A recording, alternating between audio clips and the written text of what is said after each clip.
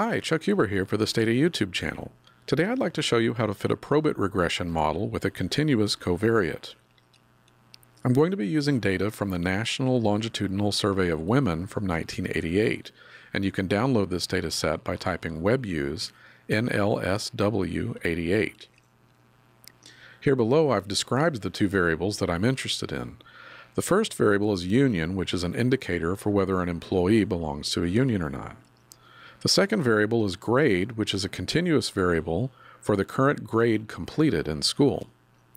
Below that, I've summarized these data so we can see the min and the max. And for union, the min is 0 and the max is 1. Of course, it's an indicator variable. For grade, because it's continuous, I can see that the minimum is 0 and the maximum is 18. So to fit a probit regression model for these data, I'm going to go to Statistics and select Binary Outcomes and then select Probit Regression. In the Probit Regression dialog box, uh, in the Model tab, I'm going to select the dependent variable union. So I'm going to scroll down and find union, select that. And then for the independent variable, I'm just going to select grade. And that's it. So I'm going to click Submit to fit the model.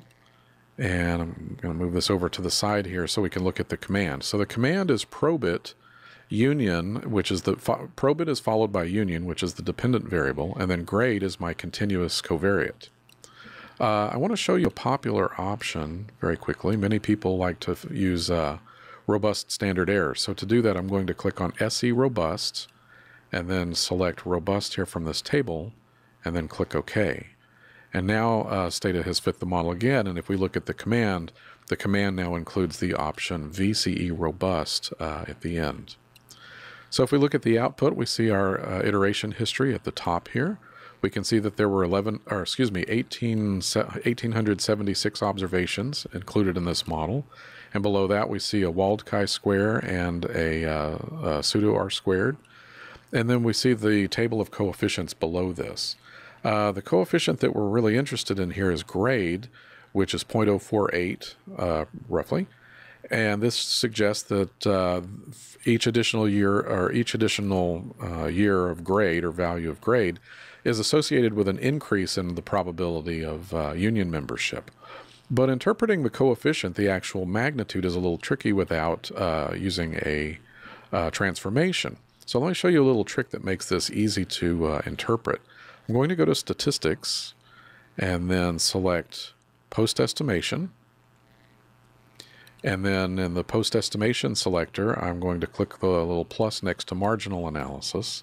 And then I want to select Marginal Means and Marginal Effects, Fundamental Analysis.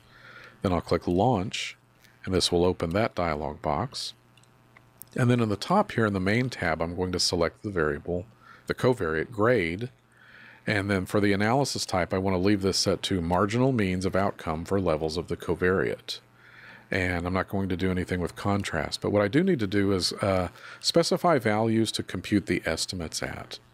So I'm going to type 0 and then in parentheses 3 and then followed by 18. And what this is going to uh, ask Stata to do is calculate the predicted probability of union membership between 0 for grades 0 through 18 in increments of 3. So when I click submit, Stata will calculate that those probabilities for me. So let me move this over and I can see that the command then is margins followed by a comma and then the uh, with the option at grade equals 0 through 18 in increments of 3. That's what 0 open paren 3 close paren 18 means. 0 to 18 in increments of 3. And then if I scroll down, well, actually between the command and the table at the bottom, there are a series of ats. So one at uh, refers to grade equals 0. 2 at refers to uh, grade equals 3. 3 at is grade equals 6, and so forth. So now if I look at the margins table at the bottom, I can see the predicted probability of union membership for someone who completed grade uh, 0, which is about a 0.09 probability. For someone who completed three grades, there's about a 0.12 probability that someone belongs to a union, and so forth. Um, if I like, I can graph these predicted probabilities by going back to the dialog box and checking this little box next to draw profile plot of the results. And now if I click OK, Stata will create a plot uh, of the the predicted probability. So the horizontal axis is current grade completed, 0 through 18, and then the vertical axis is the probability of union membership given that someone completed a particular grade.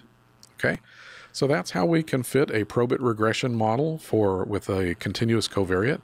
I hope this was helpful. Thanks for stopping by.